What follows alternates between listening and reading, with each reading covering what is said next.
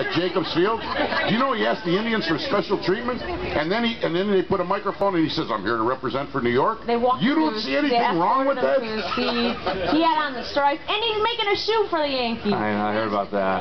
Yeah, you don't the see shoe. anything wrong with that? He should have just went there. Come on, he should have stayed home. He should have stayed home. Stayed home. Right. Yeah.